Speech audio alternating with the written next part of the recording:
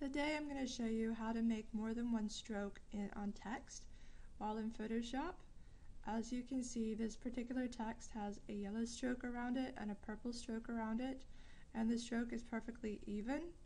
It isn't that I've doubled and uh, made more than one copy of the text, which some people do, but that is often really uneven.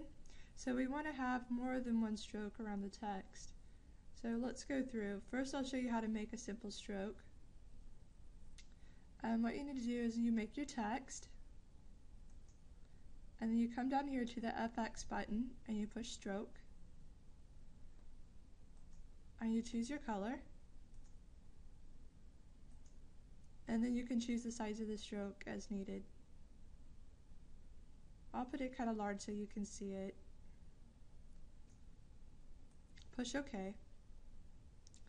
Now I need to add another stroke around this text.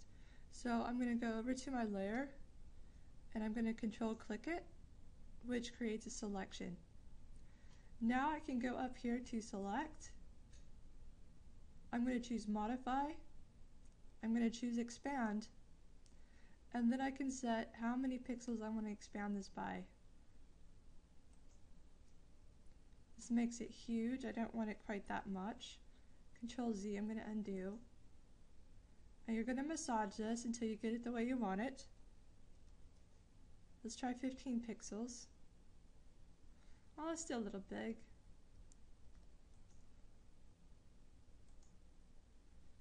So let me try 9 pixels. I think that will work nicely. Okay, now that you have that done, You'll come down here to this Oreo cookie looking icon.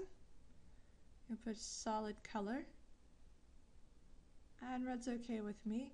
Now it fills everything, so all you want to do is simply drag this down below your text layer.